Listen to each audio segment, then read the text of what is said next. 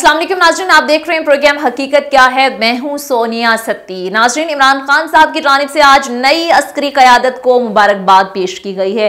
अपने Twitter account से उन्होंने ट्वीट किया, उन्होंने कहा कि कौम रियासत के दरमियान पिछले आठ माह से एतमाद का जो फुकदान था, उम्मीद है कि नई जो अस्करी क्यादत है, वो रियासत और आवाम के दरमियान एतमाद के फुकदान को ख़त्म करेगी, क्योंकि उन्होंने कहा कि आवाम ही रियासत की असल कुत है, असल ताकत है। इस पर ज़ाहिर बड़ा क्रिटिसिज्म भी आया। इसके रद्दमल ने मरियम नवाज़ साहबा ने भी ट्वीट किया। उन्होंने कहा कि उस वक्त आपको ये कायद आज़म मोहम्मद अली जना का कॉल भी जहर इमरान खान साहब ने अपने ट्वीट के साथ शेयर किया, जिसमें उन्हें सिविलियन बालादस्ती के हवाले से बात की। इस पर मरियम ने रद्दमल देते हुए कहा कि ये कोर्ट आपको उस वक्त नज़र नहीं आया जब आपने अफसरान को मुतनाज़ बनाया, उनके मुस्तबिल को तबाह किया। फिर उन्होंने कहा कि जब आपने चंद अफसरान से, के साथ मिलकर नवाज़ शरीफ के खिलाफ साजिश की, अवामी मैंडेट पर डाका डाला फिर उसकी कुछ ही देर के बाद हमने देखा वज़ीर इतलात साहिबा मरियम और अगजेब साहिबा ने भी प्रेस कॉन्फ्रेंस की धुआंधार और इसी ट्वीट पर जो उन्होंने कायद आज़म मोहम्मद अली जिना का सिविलियन बालादस्ती पर एक कोटेशन शेयर की, इस पर उन्होंने भी बड़ी तनकीद की।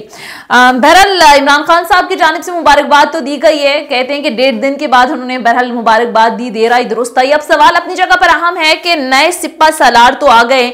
क्या मंजरनामा होगा नए सिपा सालार के आने के बाद? वैसे तो वो कह रहे हैं, हम ए पोलिटिकल हैं, लेकिन हमने देखा पूरी माजी और तारीख उठाकर देख लें, कहीं ना कहीं रोल रहता है। तो अब पाकिस्तान तहरीक इंसाफ के साथ, खासकर स्टैब्लिशमेंट के ताल्लुकात में जो उतार चढ़ाव रहा है पिछले कुछ अरसे से, अब नए चीफ के आने के बाद क्या सूरत हाल बदलेगी? इसके साथ साथ नाजरीन, जो सियासी मंजरनामा है, वो भी हम देख रहे हैं कि हर गुजरते दिन के साथ कुछ धुंधला सा दिखाई दे रहा है। इसम्बलियाँ तहलील करने की बात कर रही है पाकिस्तान तहरीक इंसाफ और गवर्नमेंट ये कह रही है कि किसी सूरत हम डिजोल्व नहीं होने देंगे। हर कानूनी आईनी ऑप्शन हम इस्तेमाल करेंगे। ये वही लोग हैं नाजरीन जो कि पिछले कुछ अरसे में चैलेंज करते रहे और बार बार ये चैलेंज करते रहे इमरान खान साहब को कि आपने अगर अर्ली इलेक्शन की तरफ़ आना है तो आप आज असम्बलियाँ डिसॉल्व करें। पंजाब के अंदर, केपी के अंदर हम कल इलेक्शन कराने के लिए तैयार हैं। लेकिन आज वही लोग असम्बलियों की तहलील रोकने के लिए भाग दौड़ में मसरूफ और कह रहे किसी सूरत हम ये होने नहीं देंगे। बहरहाल, होने क्या जा रहा है? क्या वाकई पाकिस्तान तहरीक इंसाफ असम्बलियाँ तहलील करने जा रही है? क्या कानूनी आईनी ऑप्शन उनके पास मौजूद है? हुकूमत बचाने के या असम्बलियाँ तहलील होने से बचाने के लिए पीडीएम के पास ऑप्शन क्या है? कानूनी राय भी जरा आज प्रोग्राम में शामिल करेंगे।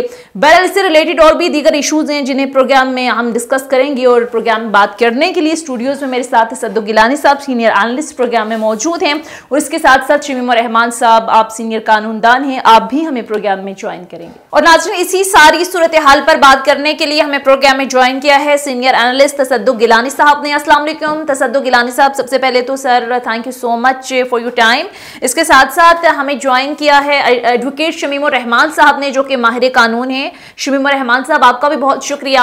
आगाज़ आपसे कर लेते हैं, क्योंकि कुछ लीगल मामला हैं। अब इमरान खान साहब ने बाकायदा कह दी है कि के पी असम्बली और पंजाब असम्बली डिज़ोल्व करने जा रहे हैं। ज़ाहिर है जुमे को इजलास होना है, फिर हफ़्ते को होना है, उसके बाद डिसाइड किया जाएगा।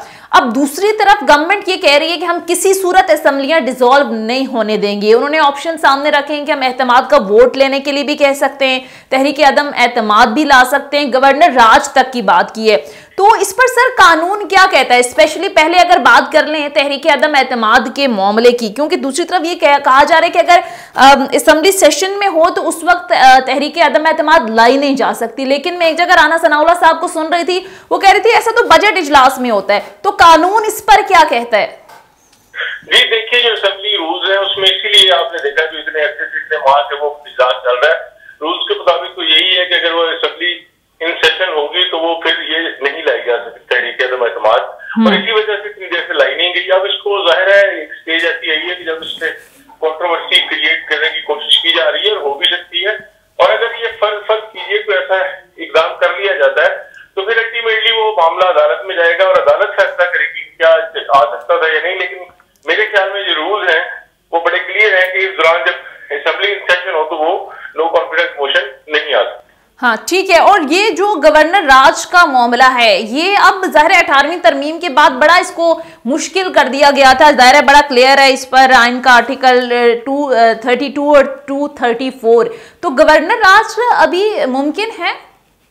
जी देखिए जो टू थर्टी टू है वो तो आप आप देखते हैं बिल्कुल ही वो तो अगर कोई इंवेजन हो जाए या कुछ सूरत जंगों की सूरत में हंगामी ऐसे कोई इस वक्त हालात नहीं है। अगर दो सूरतें हैं एक ये कि जब ऐसे हालात हों कि जिसमें आप समझे कि बहुत टर्मोइल है और उसके तहत गवर्नमेंट नहीं चल सकती और आप उसमें एक्सपेक्ट करें कि जो चीफ मिनिस्टर है या गवर्नर आज के लिए जो एक ओपिनियन बनाई जाती है फ़र्स्ट गवर्नर साहब ये समझते हैं और वो प्रेसिडेंट साहब को भेजते हैं हम्म। तो उसमें हालात चूँकि नहीं है अगर वो कुछ लिखेंगे भी तो जो प्रेसिडेंट साहब का इख्तियार है उसमें मे का लफ्ज इस्तेमाल हुआ था इस सूरत हाल में ठीक है अगर वो भेजे तो ये ज़रूरी नहीं है कि सदर साहब उसके का लफ्ज है और हालात भी कैसे नहीं है तो वो कह सकते हैं कैसे हालात नहीं है। और उस दौरान वो ऑर्डर चैलेंज भी हो सकता है। लिहाजा मेरा ख्याल है कि क्योंकि सूरत हाल ऐसी नहीं है कि जिसको जो जस्टिफाई करती हो हाँ। गवर्नमेंट राज लगाने को लिहाजा मेरा ख्याल है ये तकरीबन आप ये कह सकते हैं कि इसमें हालात नहीं और नहीं लग सकेगा। ठीक है अब ये कह रहे हैं कि तहरीक अदम एतमाद भी नहीं ला जा लाई जा सकती और दूसरा गवर्नर राज भी अभी लाना मुमकिन नहीं है। अच्छा तो सद्दू गिलानी साहब भी मेरे साथ स्टूडियो में मौजूद हैं, उनको भी शामिल गुफ्तु कर लेते हैं। गिलानी साहब, आप सारे मामले को कैसे देखते हैं? आपको लगता है कि क्या वाकई पाकिस्तान तहरीक इंसाफ इसम्बलियाँ तहलील कर सकती है? क्योंकि फवाद चौधरी साहब ने तो गुजशत दिनों बड़ा कैटेगोरिकली कहा कि एक हफ़्ते के अंदर ये प्रोसीजर मुकम्मल हो जाएगा। तो आपको लगता है होने जा रहा है या मैस प्रेशर एक टैक्टिक है ताकि गवर्नमेंट के इंगेज करे? देखिए जो खान साहब का जो कहते हैं ट्रंप कार्ड्स थे चंद उसमें से लॉन्ग मार्च और धरना एक मेजर ट्रंप कार्ड था जो अनफॉर्चुनेटली किसी वजह से उस अंजाम तक नहीं पहुँच सका जिस पर खान साहब एक्सपेक्ट कर रहे थे हम्म। अच्छा उनका जो लास्ट कार्ड लास्ट तो मैं अभी फिर भी नहीं कहता लेकिन चले लास्ट कह लेते हैं हम्म। वो ट्रंप कार्ड उन्होंने शो कर दिया है असम्बली तोड़ने की सूरत में अच्छा दो तीन दिन पहले साद रफीक साहब का भी इससे पहले बयान आया था खान साहब के बयान से पहले अगर आप सीरियस है तो असम्बलियाँ तोड़ दें। That is the way Saad Rafiq साहब तो क्या आप मुतादिद ऐसे बयान हैं? मरियम नवाज़ साहिबा का राना सनाउल्ला कमर जमान कायरा लतीफ़ खोसा वो चैलेंज देते रहे मुताद मौके पर कि आपने अगर इलेक्शन में आना है तो आप असम्बलियाँ डिसॉल्व करें। हम कल इलेक्शन कराने के लिए तैयार हैं लेकिन आज भाग दौड़ मचाई हुई है कि हम किसी सूरत तहलील होने नहीं देंगे। बिल्कुल सही है। बेसिकली बात यह है ना कि देखें पंजाब की सूरत और के पी की सूरत दोनों ज़रा मुख्तलिफ़ पंजाब में पॉलिटिकली अगर असम्बली टूटती है तो मेरा ख्याल है परवेज दिलाई साहब साहब को इस वक्त सूट नहीं करेगी। बेशक वो बड़े अच्छे बयान दे रहे हैं कि जी, बिल्कुल जैसे कहेंगे, दो मिनट लगाएँगे, हम कर देंगे। लेकिन पिछले दिन उन्होंने अरबों रुपए का फंड रिलीज़ किया है।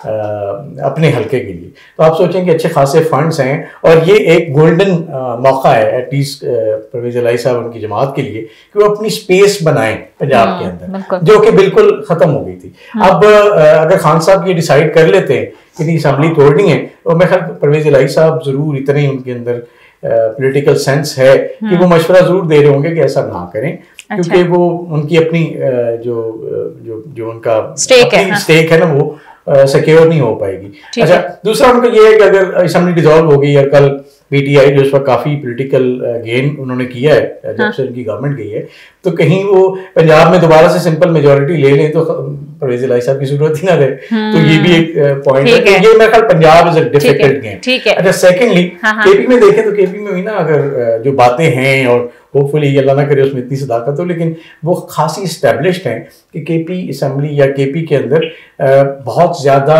इल्ज़ाम हैं करप्शन के गवर्नमेंट प्रोजेक्ट्स के अंदर। अच्छा। और ज़ाहिर है वहाँ पे भी बेशक पी टी आई है पर उनके अपने स्टेक्स हैं जो लोकल लेकिन टू थर्ड मेजोरिटी है तो हाँ। ऐसा लग नहीं रहा कहीं कि केपी के अंदर जब आप कहेंगे कि जी ठीक है इसको कर दें तो बहुत सारे लोग बगावत भी तो कर सकते हैं ना हम्म। मतलब कहीं ना कहीं ये भी तो अब खान साहब ने ऐलान कर दिया था उसके बाद एक हफ़्ता देने की ज़रूरत नहीं थी ना खान साहब ने कह दिया परवेज लाई ने कहा था दो मिनट भी लगाएँगे केपी हम्म। वालों ने कहा था सर आँखों पे आप जब कहेंगे तो एक हफ़्ता क्यों देना पड़ा मेरा ख्याल उसके बाद जब उन्हें एहसास हुआ होगा कि नहीं इतनी आसान गेम नहीं है हाँ। तो there are some political you know इसकी प्राइस हाँ। भी होगी हाँ। एक बात दूसरी बात ये कि देखिए अगर ये नून लीग कहती है हम गवर्नर राज लगा लेंगे या अदम की तहरीक ले आएँगे जो कि चले हमारे फाजिल दोस्त ही कहते हैं कि नहीं लेकिन एक पॉइंट ये भी है कि लाई जा सकती है। लेकिन देखा जाए अल्टीमेटली तो हर चीज़ अल्टीमेट होगा जिसकी जिसने असम्बली तोड़ी या जिसने अदम एतमाद की तहरीक लाई या एतमाद का वोट लेने को कहा सारी चीज़ें अल्टीमेटली जानी अदालत के अंदर। और अदालत ने ही अल्टीमेटली डिसाइड करना है कि क्या करना है। तो है। आप सोचें कि अगले तीन चार महीने हाँ। अगर इस गेम में गुजर जाते हैं उसके बाद अगर आप कह भी दें कि इलेक्शंस करने हैं इंटरम गवर्नमेंट आनी है तो तो फिर में टाइम क्या रह जाएगा? ये ये ये बड़ी इंपॉर्टेंट बात की। अच्छा शमीम रहमान साहब, ये बड़ी अहम बात की है, एक तसद गिलानी साहब ने। उन्होंने कहा, अगर तहरीक अदम सॉरी असम्बली डिसॉल्व करनी है तो आप करें। इतना ज़्यादा टाइम क्यों दिया जा रहा है? इसमें तो वो तहरीक अदम, एतमाद का भी कहीं ना कहीं ऑप्शन ला सकते हैं, चाहे जो भी मामलात हों, फिर अल्टीमेटली उसको अदालत में चैलेंज किया जा सकता है। तो इतना डिले की वजह आप क्या समझते हैं? तोड़नी है असम्बली डिसॉल्व करनी है तो आप करें। देखिए, अब कानूनी तौर पर डिसॉल्व करने के रास्ते में तो बिल्कुल कोई रुकावट नहीं है। अभी दो मिनट में चीफ मिनिस्टर साहब जो है वो एडवाइस करेंगे और गवर्नर साहब फारिग कर देंगे टूट जाएँगे। हाँ। अब ये जो पोलिटिकली बात है ये कभी भी तोड़ना नहीं चाहती मेरा ख्याल गवर्नमेंट और मेरा नहीं ख्याल के तोड़ेंगे। उसकी वजह ये है देखिए पूरे पाकिस्तान के आइन में कहीं ये नहीं लिखा हुआ कि सूबाई असम्बलियों के और नेशनल असम्बली के इलेक्शन एक दिन होने हैं। बिल्कुल। फ़र्ज़ कीजिए आप आप फ़र्ज़ कीजिए आप डिजोल्व कर देते हैं और उस पे विद इन नाइन्टी डेज़ में इलेक्शन हो जाएँगे और और ये ये ज़रूरी नहीं है कि नाइन्टी डेज़ के जो इलेक्शन होंगे वो जब इलेक्शन नेशनल असेंबली का होगा ये भी दोबारा इलेक्शन होगा हाँ बिल्कुल नहीं होने हाँ। ये अपना पूरा टाइम भी रद्द कर सकते हैं। तो ये मेरा नहीं ख्याल ये एक प्रैक्टिकली सारी गेम हो रही है जिसपे बहुत अच्छे से पीटीआई और इमरान खान साहब कहते हैं हम तोड़ देंगे। और ये मैं लेकिन अभी तो बैक फुट पे भी नहीं जा सकते ना शमीम रहमान साहब। के पास बड़ा ज़बरदस्त टाइम है। अपने फंड्स लगाएँ लोगों के काम करें और अपनी एक ग्राउंड बनाएँ। और पहले भी उन्होंने यहाँ पे काम किया हुआ है। तो मैं नहीं समझता कि अगर सियासी तौर पर देखा जाए तो वो इस वक्त अफोर्ड करते हैं असम्बलीज को डिजॉल्व करना। नहीं तो बैक फुट पे तो नहीं आ सकते ना। शमीम रहमान साहब, ये अभी बैकफुट पर आना उनके लिए सियासी तौर पर तो ये काफ़ी नुकसानदेह होगा, क्योंकि जितने भी कार्ड थे वो उन्होंने शो कर लिए हैं। अब, जिस तरह से अभी तसद गिलानी साहब ने भी बात की कि लॉन्ग मार्च के तो वो नतज निकले नहीं हैं। तो ये अब यहाँ से बैकफुट पर आते हैं तो ये तो बड़ा इनको पॉलिटिकली नुकसान होगा इनकी सियासत मुझे लगता है कि देखिए पीटीआई की हमेशा से या इमरान खान साहब की पॉलिसी यही है कि वो खबरों में रहे और वो उनके इर्द गिर्द सारी पॉलिटिक्स घूमती रहे और जो इस वक्त घूम भी रही है। हाँ। और अगर वो कभी बैकफुट पे जाएँगे जैसा आप समझती हैं और जो मैं समझता हूँ कि जाएँगे तो वो वो तो बुनियादी तौर पर उनका नेगेटिव यही है कि यू टर्न जो है वो लेता है जो लीडर वो लीडर वही बनता है। वो तो इस बात पे बिलीव नहीं करते कि जो स्टांस या मौका है किसी शख्स का किसी पार्टी का हाँ। वो तो ये समझते हैं बार बार मौका तब्दील होना जो है यही कामयाबी है। हाँ, वो कह रहे हैं वक्त के साथ चीज़ें बदल जाती हैं तो हो ठीक है। अच्छा तसद्दु गिनानी साहब आने वाले दिनों में क्या मंजरनामा देख रहे हैं आप? आपको लगता है कि ये अदम इस्तेकाम की जो एक फ़ज़ा बनी हुई है, ज़ाहिर इकोनॉमी में इससे बहुत ज़्यादा इफ़ेक्ट हो रही थी। आज मैं वज़ी ख़जाना को सुन रही थी। वो कह रहे थे कि मीशत इस हाल में है कि अब इसको दवाओं और दुआओं की ज़रूरत रह गई है। तो इतराक नहीं है, चाहे पाकिस्तान तहरीक इंसाफ हो, चाहे पी डी एम की हुकूमतें हों, कि मिल बैठ कर इस मसले का कोई हल निकालें अल्लाह ना करे। अगर मुल्क डिफ़ॉल्ट की तरफ़ चला गया तो फिर किसने सियासत देखनी है? ये इकतदार तभी होगा जब मुल्क होगा। ये आपने बड़ी अच्छी बात की। This very unfortunate part of whole story कि हम उस टहनी को काटते हैं जिस पे हम खुद बैठे हुए हैं। और मेरा ख्याल है इससे ज़्यादा बेवकूफ़ी क्या होगी? तो पॉइंट ये है कि इस वक्त किसी को कोई परवाह नहीं है कि मुल्क के साथ क्या होगा। हर बंदा अपने पॉइंट स्कोरिंग के चक्कर में है। और ये एक बड़ा बुरा मैसेज दे रहा है ना। पोलिटिकल अनस्टेबिलिटी डिस्टेबलाइजेशन ख़त्म नहीं हो रही। और मुझे नहीं लग रहा कि कहीं पे अगले पाँच छः महीनों में ये ख़त्म होगी। अच्छा जो पीटीआई है उसके तो हक में जाता है कि डिस्टेबलाइजेशन रहे इकॉनमी इम्प्रूव ना करे नून लीग और पीटी पीपल्स पार्टी और बाकी लोग ख़राब हों। ज़ाहिर है वो जब वोट लेने जाएँगे, लोग कहेंगे, भाई, आप महँगाई ख़त्म करने आए थे, आप इकॉनमी बूस्ट करने आए थे, वो कहाँ गए? तो उनको तो सूट करता है, लेकिन अनफॉर्चुनेटली मुल्क को सूट नहीं करता। इसी तरह नून लीग के पास भी अब टाइम अगर वो वाकई ये तीन चार महीने वाकई सही लगा लें और उससे थोड़ा सा बेनिफिट आवाम को ट्रांसफ़र कर सकें, फिर तो it makes sense for them कि वो डिले करें। अदरवाइज़ उनको भी फ़ायदा नहीं होगा। अब होगा ये। ये देखें ना आई एम एफ़ के साथ मुजाकर तातुल का शिकार है, कुछ पॉइंट्स फंस गए। तो ये करते कराते ना, मार्च आ जाएगा। फेबररी मार्च, इसमें आई एम एफ़ के मामला चलेंगे। वो चलेंगे तो फिर पैसा आना शुरू होगा। बाकी इदारों की तरफ़ से। ठीक है हम्म, ना? सही, ठीक है। मुल्कों की तरफ़ से भी तभी आएगा। तो फिर इकॉनमी बढ़ना शुरू होगी। अगर खुदा ना खासा ये और डिले होगा तो हमें मेरा ख्याल है इस वक्त ये सोचना चाहिए कि फिर हम साबित ना करें अपनी इस्टेब्लिशमेंट को कि भी हम सारे नाअहल हैं और हमसे ये चीज़ें मैनेज नहीं हो रही। हम्म। और आप प्लीज़ आगे हेल्प कर दें। मेरा ख्याल है एनफ इज़ एनफ इन सबको अपने होश के नाखुन लेने चाहिए। गवर्नमेंट अगर इस इस चार साल पाँच साल में ये की है तो अगले पाँच साल में दूसरे की आएगी। लेकिन ये नहीं है कि अभी इसी दफ़ा दफ़ा हमने डू और डाई करना है। मेरा ख्याल इकोनॉमी को स्टेबलाइज करने दें। जो परफॉर्म नहीं करेगा बाहर चला जाएगा जो परफॉर्म करेगा अवाम के अंदर जो फैसला है अवाम को करने दीजिए। क्योंकि आपको लगता है शमीम और रहमान साहब ये जो सियासी एक पोलराइजेशन का माहौल बाद में इंस्टेबिलिटी दिखाई दे रही है हर तरफ़। और ज़ाहिर है मुआशी जो माहरीन हैं वो बार बार इस खदशे का इजहार कर रहे हैं कि अगर मुल्क में सियासी इस्तेकाम ना आया तो अल्लाह ना करे, मुल्क डिफ़ॉल्ट की तरफ़ भी जा सकता है। लेकिन आपको लगता है अर्ली इलेक्शन इस मसले का हल है? इलेक्शन हो जाते हैं तो फिर आवाम को फैसला करने दें। जो जमात इकतदार में आती है, जो खान साहब बात कर रहे हैं, वो फिर चलाए मुल्क। देखिए बात यह है कि इसके लिए एक बड़े स्ट्रॉन्ग पोलिटिकल कल्चर की ज़रूरत होती है। जिस तरह के मैंने बेशुमार दफ़ा आपसे बात हुई कि हमारी जो बार एसोसिएशन है, हम इलेक्शन लड़ते हैं, जो हार जाता है, वो जीतने वाले को कंग्रेचुलेट करता है और ये नहीं कहता कि धांधली हुई है। और अगले इलेक्शन में फिर हम फैसला करते हैं, लोग फैसले। ऐसा ही रवैया हमारे नेशनल लेवल पे ज़रूरत है। बस ये कि अगले इलेक्शन होते हैं, जो भी हारता है और उसका यही रवैया हो कि वो कहे जी मैं तो नहीं मानता और मैं तो जुलूस जुलूस में रहूँगा और मैं इस्लामाबाद को ब्लॉक कर दूँगा जो भी पोलिटिकल पार्टी हो सबके माजी जो है किसी का भी इतना दरख्शेंदा और शानदार नहीं है कि मैं किसी को अप्रिशिएट करूँ हम सब इसमें शामिल हैं सारी पोलिटिकल पार्टी शामिल है तो किस तरह से फिर स्टेबिलिटी आएगी और ये जो बात हम कर रहे हैं हम एक पाकिस्तानी के तौर पर कहते हैं कि कोई अगर आप इसको चलने नहीं देंगे निज़ाम को और हर वक्त एक केओस रहेगा हर वक्त अनसर्टनिटी रहेगी हर वक्त यही रहेगा कि कौन सी गवर्नमेंट आ रही है और कौन सी जा रही है तो जो फाइनेंशियल स्टेबिलिटी जिसकी हमें बहुत ही शदीद ज़रूरत है इस वक्त वो कैसे आएगी और उसमें हम्म। मैं एक सिटीजन के तौर पर अपने आप को भी शामिल इसलिए समझता हूँ कि जब मेरा कोई चैनल कोई प्रोग्राम किसी ऐसे इशू पर करता है जो कि मेरा असल में इशू है मेरे हेल्थ इश्यूज़ पे करता है मेरी एजुकेशन पे करता है मेरे फ्लड्स पे करता है तो उसको मैं रेटिंग नहीं देता उसको मैं देखता नहीं और मैं भी इन प्रोग्राम्स को देखता हूँ जिसमें सब एक दूसरे को दे और एग्जैक्टली yes. वालों को अल्टीमेटली ये प्रोग्राम्स करने पड़े तो हम सब शामिल हो गए हैं सारी में हम्म, और हम स्टेबिलिटी हम्म। के लिए वो काम नहीं कर रहे जो हमें सिटीजन करना चाहिए हम्म। और एक जिम्मेदार पाकिस्तानी के तौर पर वो रोल प्ले नहीं कर पा रहे हैं बिल्कुल बिल्कुल आपकी बात दुरुस्त है लेकिन अब ज़ाहिर है तसद गिलानी साहब, मैं आपकी तरफ़ आती हूँ। अब ज़ाहिर है, सिपा सलार तब्दील हो गए हैं। ज़ाहिर है कमर जावेद बाजवा साहब, जो कि अब रिटायर्ड हो गए हैं, काफ़ी तनाज़ात उनके साथ जुड़े रहे। छः साल जो उनका दौर इकतदार रहा, उसमें कुछ अच्छे काम भी हैं, कुछ तनाज़े भी उनके साथ लगे रहे, चाहे मगनून के साथ हूँ या अभी पाकिस्तान तहरीक इंसाफ के साथ हूँ।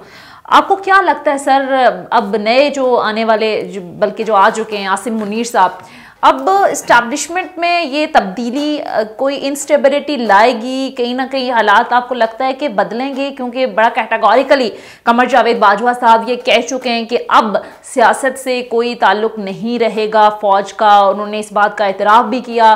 कि पहले रहा है, पिछले साल फरवरी में हमने बड़ी सोचो बचार के बाद ये डिसाइड किया है कि अब हम सियासत में हमारा कोई ताल्लुक नहीं होगा, बल्कि उन्होंने इस मुदाखलत को गैर आइनी करार दिया। आपको लगता है कि यही लेगेसी लेकर चलेंगे अगले चीफ देखिए आपने बिल्कुल सही पॉइंट आउट किया कि पिछले चार से पाँच साल फौज के ऊपर बहुत फिंगर पॉइंटिंग बहुत आप लोग मीडिया के लोग चीखते रहे। ठीक है? इसी तरह जो जो अपोजिशन पार्टीज़ थी या कोई बोलता था सबने मुश्किल बर्दाश्त की। उनके हक में बहुत बड़ी बड़ी बातें की जाती हैं कि रेकवेडिक को उन्होंने बहुत अच्छा रेजोल्यूशन दिया। फैटफ पे बहुत ज़बरदस्त काम किया हाँ। लेकिन इंटरनल जो पोलिटिकल असल में उनको मेरा ख्याल ड्रैग किया गया सारे प्रोसेस के हम्म, अंदर अनफॉर्चुनेटली हम्म, हम्म। उस वक्त मेरा ख्याल इस्टेब्लिशमेंट इस चीज़ को नहीं गेस्ट कर पाई कि उसकी वजह से वो कितने ख़राब होंगे तो इस वक्त जो सिचुएशन है कि फ़ौज के ऊपर और इस्टेब्लिशमेंट के ऊपर बहुत बड़ी उनके खिलाफ बातें हो रही थी अभी भी हो रही हैं। और खान साहब ने तो सोने पे सुहागा ये किया कि नाम ले ले के जो हमारी तारीख में बहुत कम हुआ है उन्होंने बहुत ही यानी सिटिंग जर्नलों के बारे में ऐसी बातें की जो शायद किसी अच्छा, नहीं, नहीं, किसी मुल्क में नहीं नहीं नहीं वैसे नवाज़ शरीफ साहब कह चुके हैं मरियम नवाज़ साहबा कह चुके हैं वैसे तारीख में पहली बार हुआ नहीं है क्योंकि आपको याद होगा अभी रिसेंट पास्ट नवाज़ शरीफ साहब लंदन में बैठ के सिटिंग आर्मी चीफ और sitting D G I S I का नाम ले लेकर उनको तनकीद का निशाना बनाते थोड़ा सा एक ढंग रह जाता था। हाँ, एक पर्दा था एक खौफ था। कि वही डीजी फलां हाँ। ऐसे नहीं हुआ ना। मतलब एक, एक कोई कोई उसका प्रोफ़ाइल होता था। अच्छा उससे हुआ ये कि फ़ौज के ऊपर ना बहुत यानी लोगों का क्रिटिसिज्म आया। और इदारा देखिए फ़ौज ऐसा इदारा है जो कि स्टेट को रिप्रेजेंट करता है। स्टेट को कभी भी कंट्रोवर्शियल नहीं बनाया जा सकता। इसमें मेरा इस्टेब्लिशमेंट और फौज को भी सोचना चाहिए कि सियासत में जब कोई भी आएगा, उस पर उंगली उठेगी। तो हम क्यों ना एक रिस्पेक्टेबल प्रोफ़ाइल में रहें, अपनी रेड लाइन्स ड्रॉ ज़रूर कर लें कि स्टेट के ऊपर कोई हर्फ ना आए। वहाँ आएगा तो टांगे काट देंगे, हाथ काट देंगे, गर्दन काट देंगे। मेक सेंस लेकिन डे टू डे अफेयर्स के अंदर एडमिनिस्ट्रेशन के अंदर पॉलिटिकल अफेयर्स के अंदर उनको नहीं आना चाहिए। अब ये जो आर्मी चीफ जो अभी आए हैं, आसिम मुनीर साहब इनके लिए चैलेंज ये है कि फ़ौज का जो जो रिस्पेक्ट है वो बहाल करनी है। उनका, उनकी जो उनका जो इमेज है कौम के सामने उसको बहाल करना है और अपने आप को वाकई थोड़ा सा डिसंगेज करना है। हम्म। इस सारे इन सारे मामला से ताकि वो वो इज़्ज़त फौज की आए और अवाम के नज़र में फौज की इज़्ज़त होनी चाहिए। बिल्कुल। यूनिफॉर्म की इज़्ज़त होनी चाहिए। हम्म, और तो बहुत बड़ी रिस्पॉन्सिबिलिटी है हाँ, हाँ, दोनों तरफ़ कि वो एहतियात इस्टेबलिशमेंट भी करे और सियासतदान भी चीज़ों को कहना सीखें। अब इस तरह नाम लेके या कोई ऐसी बात करके आप अपने इदारे के ऊपर को जो है ना कहीं दुनिया में नहीं होता। देखें आप आपको याद है मुशरफ साहब बैठ बैठे थे इंडिया में कहीं मैं अभी साइन करता हूँ कश्मीर पे एग्रीमेंट हो गया एडवानी साहब बाहर उन्होंने कहा थैंक यू वेरी मच हम नहीं कर रहे। किसी ने तो उन्हें कहा होगा कि भाई doesn't make sense state doesn't want it कुछ तो मसला होगा ना। तो दुनिया में हर जगह इस्टेब्लिशमेंट्स होती हैं भाई, लेकिन उसको इस्टेब्लिशमेंट को भी ज़रा हिडन रहना चाहिए और गवर्नमेंट्स को भी थोड़ा सा या जितने सियासतदान है या जितने भी पोलिटिकल स्टेक होल्डर है कभी एहतियात का दामन ठीक है। अच्छा शमीम रहमान साहब अब ज़ाहिर है एक पूरी तारीख तो रही है। पहले मार्शल्ला से आप देख लें अभी तक का जो रोल रहा काफ़ी मुतनाज़ रहा कमर जावेद बाजवा साहब। और नवाज़ शरीफ साहब के हवाले से तो यही कहा जा रहा है कि छठा आर्मी चीफ उनने लगाया है। और जो वो सीनियोरिटी से क्रॉस करके अपनी पसंद के जितने भी लोग लेकर आए अल्टीमेटली उन्हीं के साथ उनके मामलात और तनाज़ात में वो घिरे रहे। अब आपको लगता है कि सनारियो चेंज होगा, मुख्तलिफ़ होगा। वैसे आज बड़ी अच्छी चीज़ मुझे लगी। मज़र अब्बास साहब का मैं कॉलम पढ़ रही थी। उन्होंने कहा कि फ़ौज गैर सियासी होती है। इतनी सी बात, इतनी छोटी सी बात कहते कहते सात धाइयाँ लग गई हैं। खैर, वो कहते देर आई दुरुस्त आई, सात दहाइयाँ तो लग गई ये बात कहते कहते कि सियासत में फ़ौज का जो रोल है वो गैर आइनी होता है। आपको लगता है कि ये अब तसलसल रहेगा या मुश्किल है? क्योंकि हम देखते हैं कि पॉलिटिशियन खुद भी मुदाखलत की दावत दे रहे होते हैं। जब कहीं लगता है कि बात नहीं बनती तो फिर जो है वो फौज को दावत देते हैं। अब देखें, हालिया जब उन्हें कहा न्यूट्रल हो गए तो खान साहब ने कहा, ये न्यूट्रल क्या होता है? अच्छाई होती है, बुराई होती है। न्यूट्रल तो उन्होंने कहा, जानवर होते हैं। तो उन्होंने कहा, बल्कि उन्होंने एक इंटरव्यू में ये तक कहा कि अगर आपने मेरी हुकूमत गिराने में साजिश नहीं की तो मेरी हुकूमत बचा तो सकते थे। तो ये फिर पॉलिटिशियन का भी किरदार है। देखिए मेरी अक्सर मैं आपसे करूँ कि पाकिस्तान में जो पॉलिटिशियंस हैं और दुनिया में जो पॉलिटिशियंस हैं, उनमें बुनियादी फ़र्क है। हमारे जो पॉलिटिशियंस हैं वो वही पावर में आए हैं जिन जो एस्टेब्लिशमेंट की सपोर्ट के साथ आए हैं। हम्म। कोई भी ऐसा आप लीडर नहीं बता सकते कि एस्टेब्लिशमेंट की सपोर्ट के बगैर आया हो। तो इसलिए ये मौका खुद एस्टेब्लिशमेंट को देते हैं क्योंकि इनके रवाबत हमेशा कायम रहते हैं। और ये जो आपने सिनेरियो पीटी तो बड़ी खौफनाक सिनेरियो ना पहले उन्होंने कहा जी हमें लेकर आए थे और हमने कहा कि अब आप न्यूट्रल ना हो हमें दोबारा लेकर आए। हम्म। तो ये तमाम पोलिटिकल पार्टी का चूँकि यही रहा हमारा पोलिटिकल कल्चर यही है और हमने वो जेन्युन लीडरशिप सामने नहीं आने दी हमारी स्टैब्लिशमेंट ने लोगों को मौका नहीं दिया कि वो बार बार इलेक्शन के ज़रिए अपने लोगों को मुंतखब करें और देखिए सारी दुनिया में ऐसे है लोग गलत मुंतखब कर लेते हैं लोगों को लेकिन दो बार तीन बार चौथे इलेक्शन में जाके फिल्ट्रेशन के प्रोसेस के साथ वो जेनुअन लीडरशिप ऊपर आती है क्योंकि हमारी जेनुअन लीडरशिप कभी आई ही नहीं वही लोग आए हैं जो स्टेब्लिशमेंट की सपोर्ट के साथ आए हैं तो वो फिर वो वैसे ही बिहेव करते हैं और उसी तरह स्टेब्लिशमेंट को बाद में दावत भी देते हैं देखिए फौज के खिलाफ किसी को नहीं होना चाहिए ना हम में से कोई है असल में हम उनके पोलिटिकल रोल के खिलाफ है अभी जो तब्दीली आई है इसके अंदर मुझे जो नज़र आता है वो ये है कि जो नई लीडरशिप है स्टैब्लिशमेंट की कम अज कम उनका कोई बैगेज नहीं है जो पिछली लीडरशिप थी उनका बैगेज इतना ज़्यादा था कि अगर वो अच्छा काम करना भी चाहते तो नहीं कर सकते थे बिकॉज़ उनके ऊपर जो पिछले साढ़े तीन साल एक, एक पार्टी की गवर्नमेंट बनाना और उसको सपोर्ट करना और फिर उसको गिराना और फिर नए लोगों को लाना और फिर उनको सपोर्ट करना इस इस बैगेज से चूँकि अब ये बात है ये ये नई स्टैब्लिशमेंट तो मैं मैं तो करता हूँ कि अल्लाह करे कि ये जो जो इनका पोलिटिकल रोल है ये इसको छोड़े और ये अपना असल काम करें और हम्म। जिन लोगों का ये काम है पॉलिटिक्स करना उनको पॉलिटिक्स करने दें देखिए अगर आपका ये ख्याल है कि ये पॉलिटिशियन ठीक नहीं है और आपने इनको ठीक करके बिठाया तो ये मुमकिन नहीं है हाँ। ये सारी दुनिया में जो पॉलिटिशियन ठीक हुए हैं ये सिर्फ़ पोलिटिकल प्रोसेस के ज़रिए इलेक्शन के ज़रिए यही तरीका है जिसके ज़रिए आवाम करते हैं और आप जो सबसे खतरनाक और आखिरी बात मैं आपसे करना चाहता हूँ वो ये है कि पहली बार ऐसे हुआ है कि एक गैजेट जो है वो रेडी वाले के पास भी है एक आम आदमी के पास भी है हम पहले भी क्रिटिसिज्म हमने देखा स्टैब्लिशमेंट में होता था जब अखबारों में लिखा जाता था जब पढ़े लिखे लोग बात करते थे तो वो आर्मी के या स्टैब्लिशमेंट के पोलिटिकल रोल को क्रिटिसाइज करते थे आज गैजेट उसके हाथ में है जिसको पोलिटिकल रोल का और नॉन पोलिटिकल रोल का या आर्मी का असर जो काम है जो फ़र्ज़ कर रहे हैं महाज पे उसका पता नहीं है और वो पूरी फौज गाली देता है। हम्म एग्जैक्टली ये बड़ी खतरनाक बात है बिल्कुल। हम्म। अब ये ऐसा वक्त है जो नई लीडरशिप का बैगेज नहीं है मुकम्मल तौर पर बैकफुट पर जाके पॉलिटिक्स को अपना काम करने दें। ठीक है।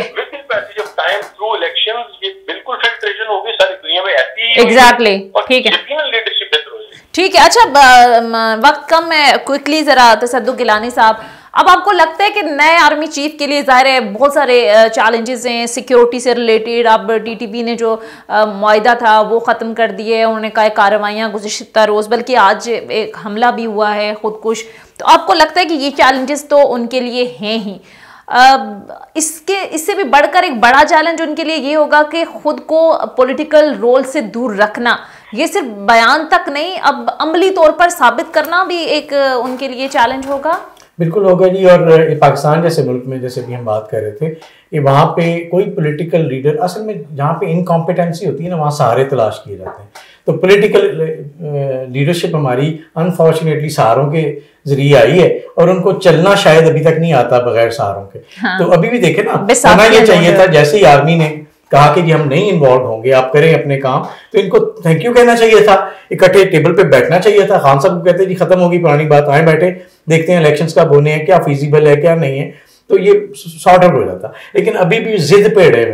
तो देखिए आर्मी या स्टैब्लिशमेंट वो, उनकी भी एक ट्रेनिंग है ना। वो भी देखते हैं, खुदा न खास्ता एक चीज़ एक जगह पे पहुँच गई है तो हम क्या करें? खुदा न खास्ता कोई मसला ना हो जाए तो हमें इंटरफेयर करना चाहिए तो मेरा नहीं ख्याल इतना आसान होगा इंटरफेयर ना करना। लेकिन मेरी दुआ ये है और मेरी ख्वाहिश है और मेरी उनसे रिक्वेस्ट भी ये है कि वो अपनी रेड लाइंस ड्रॉ करें एक्सट्रीम्स पे उसके अंदर किसी और जगह उसके विद इन रेड लाइंस कहीं इंटरफेयर ना करें। रेड लाइंस पे मैंने कहा ना जो मर्ज़ी करें। ताकि आस्ता आस्ता जैसे हम अभी बड़ी अच्छी बात की उन्होंने ये एक प्रोसेस है। पानी जब चलता है तो साफ़ होता है। ये नहीं हो सकता कि आप कहीं जी, इसको ठीक करेंगे ठीक करेंगे तो और खराबी हो जाएगी। तो वो कहते हैं ठीक करने से बाजू आप पेपर पे कुछ ठीक करते हैं वो ठीक होने पहले खराब हो जाता है। तो बेहतर ये है कि हम इस प्रोसेस को ठीक करने के बजाय इस फ्लो को चलने दें। है। हाँ लोग अपनी गलतियों से सीखें और उनको चॉइस मिले और फिर। इंशाल्लाह विद इन देखें सालों लगते हैं सिस्टम ठीक होने ठीक है ठीक है। और उम्मीद यही की जा रही है कि अब ज़ाहिर है सात दहाइयों पर मुश्तमिल जो एक सिविल मिलिट्री ताल्लुकात का अदम तोज़ुन था उसने कहा यह जा रहा है कि आज तक जमहूरियत को अपने पाँव पर खड़े नहीं होने दिया। तो जमहूरियत कहने को तो जमहूरियत है लेकिन ज़ाहिर है जितने भी पॉलिटिशियन आए जब वो इकतदार से गए तो उन्होंने बड़े बरमला ये कहा कि हमारी हुकूमत तो कोई और चलाता था, आलिया खान साहब की मिसाल देख लें। तो अब लग ऐसा रहा है कि शायद अब सूरत हाल बदलेगी और ज़ाहिर है यही एक बहुत बड़ा चैलेंज होगा नए आर्मी चीफ के लिए। देखते हैं कि आने वाले दिनों में मंजरनामा क्या होगा। बैरल प्रोग्राम का वक्त खत्म हो गया। बहुत बहुत शुक्रिया। सीनियर एनालिस्ट तसदु गिलानी साहब प्रोग्राम में हमारे साथ मौजूद थे। इसके साथ साथ माहिर कानून शमीम रहमान साहब भी प्रोग्राम में हमारे साथ मौजूद थे। अब दोनों का बहुत शुक्रिया। नाजरी था आज का प्रोग्राम। फीडबैक ज़रूर दीजिएगा। अगले प्रोग्राम तक इजाज़त दीजिए। खुदाफिज।